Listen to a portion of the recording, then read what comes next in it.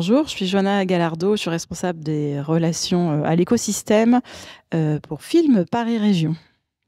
Et je suis aussi organisatrice du Production Forum.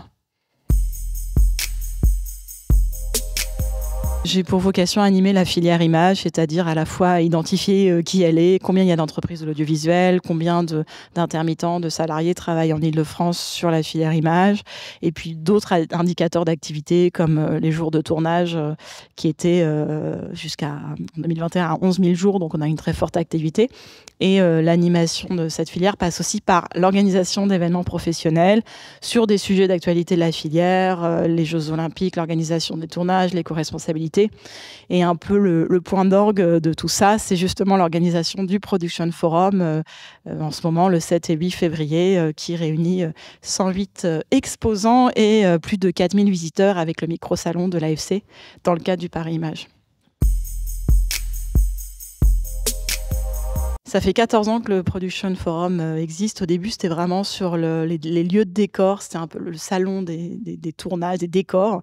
Et puis, en fait, on s'est rendu compte que ça ne suffisait pas, qu'il fallait euh, euh, mettre en relation tout l'écosystème de la production. Donc, les prestataires, les studios de tournage, les loueurs. Et depuis 2020, on, tient le salon en même temps que le micro-salon de l'association des chefs opérateurs. Donc, tout ce qui est prise de vue, lumière, technique, qui complète complètement l'offre euh, d'exposants qu'on a, euh, nous, au Production Forum, autour des châteaux, des lieux de décor, des prestataires, des institutions, etc. Non, cette année, on, a une, euh, on en a plus de 10, enfin de 10 nouveaux, et j'avais encore 10 personnes sur la, 10 sociétés sur la liste d'attente, donc on, on prévoit de, grossir encore l'année prochaine. Euh, on est très content que le bouche à oreille euh, fonctionne sur ce salon et en fait les régisseurs recommandent aux prestataires avec qui ils travaillent de venir exposer, de se faire connaître. Des nouvelles sociétés existent, des nouvelles prestations. Donc en fait on a de plus en plus de demandes euh, chaque année et on en est ravis parce que visiblement ça répond à une attente ou un besoin.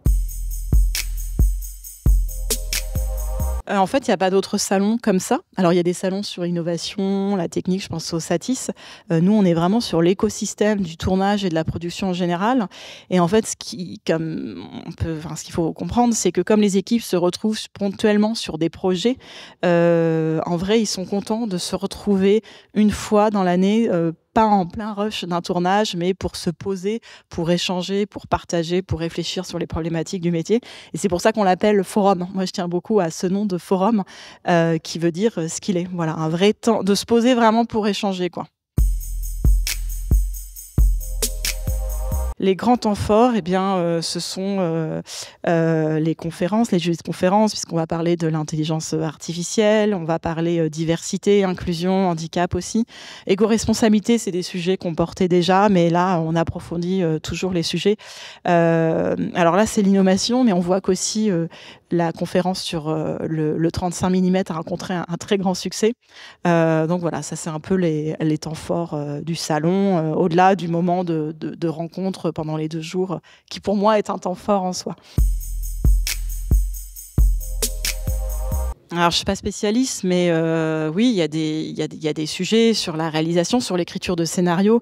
Moi, justement, j'aimerais qu'on ait à un moment un panorama de toute l'implication sur toute la chaîne de production, euh, voilà, de, la création de scénarios à la gestion d'images. On voit même dans la recherche de décors, on, recherche sur Internet des photos et en fait, il y a des images de décors qui sont générées par l'intelligence artificielle. en fait, c'est des faux décors qui n'existent pas. Donc là, ça pose problème.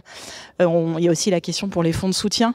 Euh, est-ce qu'un fonds de soutien va accepter un scénario qui a été écrit, par exemple, par l'intelligence artificielle? Donc, il y a des questions euh, presque éthiques et morales euh, que tous, tous les acteurs de la chaîne doivent se poser. Donc, je crois qu'on défriche là. On teste et on défriche. Après, c'est très utile au quotidien. voilà, faut pas le... dans nos outils de travail, on l'utilise déjà.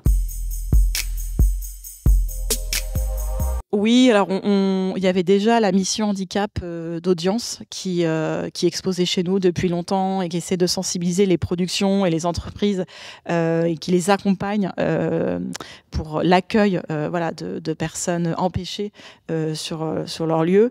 maintenant, on se rend compte que c'est des sujets aussi portés par des startups.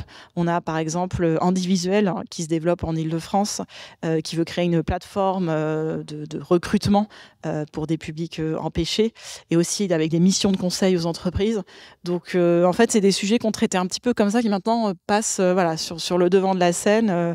les sujets d'inclusion et diversité, on peut en parler maintenant parce que voilà, il y a, de plus en plus de solutions, que ce soit des boîtes de production qui font attention à la façon dont ils recrutent, que ce soit des plateformes de recrutement à nouveau euh, qui promeut des profils de la diversité ou des associations qui font l'insertion avec des jeunes sur des quartiers prioritaires.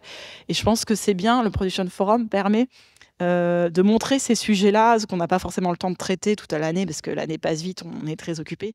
Donc de réfléchir à des sujets euh, qui peuvent paraître de côté, mais finalement qui sont euh, très importants et d'évolution de la filière et des enjeux de société finalement.